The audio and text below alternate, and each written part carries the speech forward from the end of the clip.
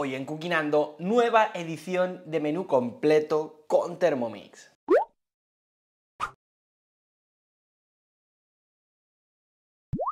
Muy buenas, cuquitos, bienvenidos un día más al canal, estáis en Cookinando, vuestro canal de cocina, y hoy, décimo primera edición de menús completos. Llegasteis a los mil likes en el anterior, así que como os prometo siempre, volvemos con una nueva edición.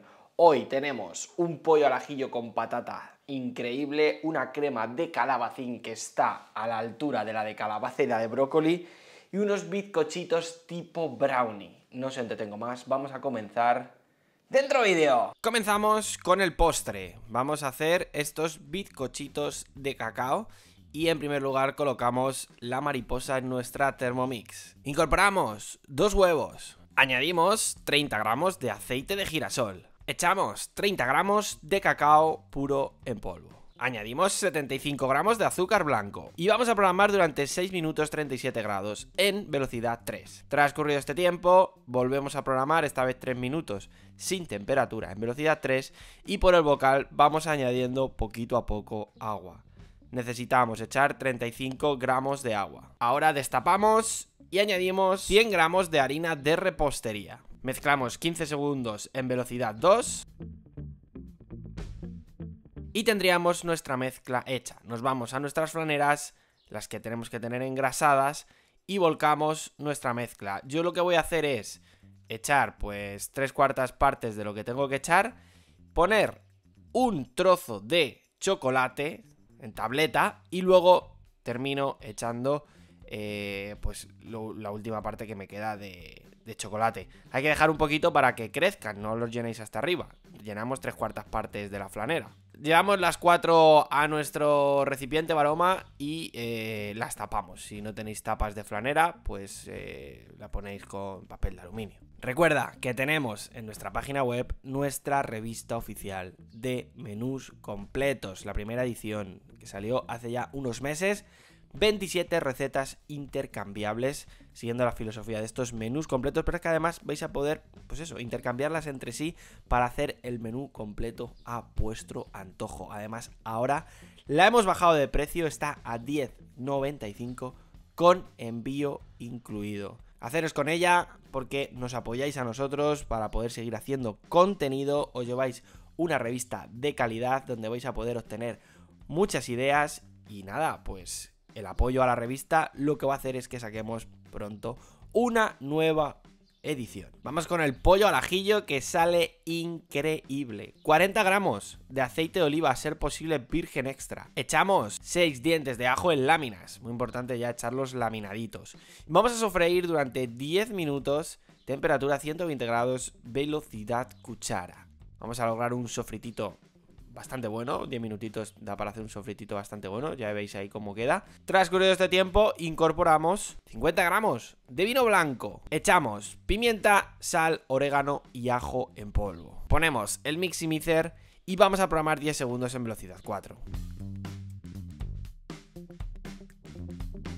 Vamos a hacer ahí un mejunje, como digo yo, muy rico que nos va a servir ahora para irnos a nuestra bandeja de silicona Colocar 400 gramos de patatas en trozos pequeños, muy importante, en trozos pequeños. Colocamos encima los contramuslos. Os recomiendo siempre que uséis contramuslos. El pollo, mm, si lo hacemos en muslos, no me gusta cómo se queda. Si lo hacéis en pechugas, se quedan muy secas. Y lo que mejor acepta este tipo de recetas son los contramuslos. También deciros que yo utilizo la bandeja de silicona porque es lo más cómodo y lo más sencillo. Podríais hacer esta receta, pero tendríais que forrar para que ahora, en el paso final, cuando reguemos con lo que acabamos de hacer en la Thermomix y no se vaya, o sea, no se pierda, pues necesitaríais eh, cubrir lo que es la bandeja del baroma.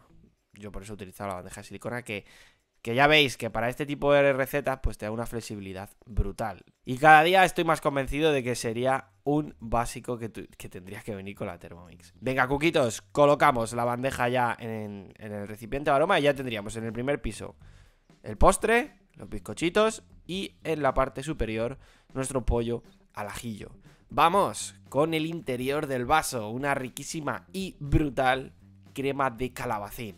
Incorporamos al vaso 100 gramos de puerro. Echamos 40 gramos de aceite de oliva virgen extra. Colocamos el miximizer y programamos 8 segundos en velocidad 5. Con todo bien troceadito, vamos con el sofrito.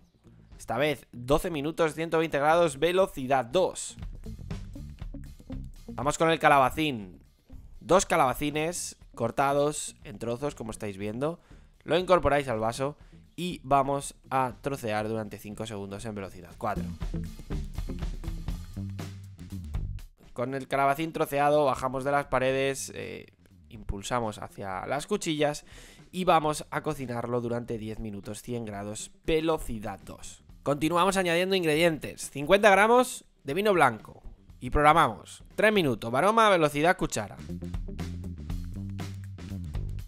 Una vez que tenemos el calabacín rebadito con el eh, vino, añadimos patata. Patata en trozos, 200 gramos.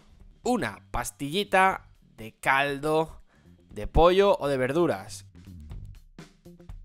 Añadimos unas cuantas pizcas de sal y 350 mililitros de agua. Con todo en el vaso, ponemos la tapa, colocamos el baroma en su posición y vamos pues con uno de los pasos que, a mí más me flipan, que es en el que te puedes ir a hacer lo que te dé la gana.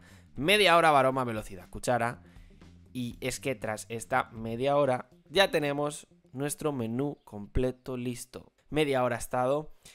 Eh, entre las preparaciones y lo de antes, pues es que en 60 minutos, en una hora, un poquito más si, si, si no te das vida, pues tienes todo esto preparado, cuquitos. Menuda locura. Vamos a finiquitar nuestra crema podría finiquitarla casi ya, pero bueno, a mí me gusta echarle un par de quesitos, un poquito de pimienta molida negra y a máxima potencia durante un minuto para que se nos triture y nos quede, pues como a mí me gustan las cremitas, ahí con una textura especial. Venga, ahora es el momento de presentar todo. Mirad qué pinta que tienen los bizcochitos totalmente hechos.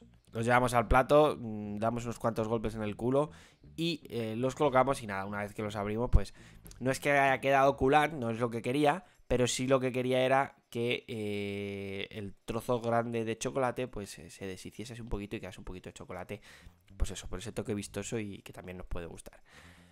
Presentamos la crema de calabacín, ahí veis qué textura espectacular. Servimos con unos cuantos picatostes y lo tendríamos listo. Y por último tenemos el espectacular pollito al ajillo en nuestra bandeja de silicona, que por cierto, si queréis conseguir un, pues que el pollo no esté tan blanco, al horno doráis arriba, la bandeja de silicona os lo permite y listo. Es visual. Bueno, visual, a ver lo vais a secar un poquito más y tal, pero bueno, es más, es más visual. Yo he preferido ni hacerlo, porque tiene una pinta brutal y estaba riquísimo, riquísimo. Y hasta aquí ha llegado la décimo primera edición de menú completo. Nos veremos en la décimo segunda, seguro que sí. Mil likes, cuquitos, y volvemos. Nos vemos en el próximo vídeo. ¡Un saludo, cuquitos!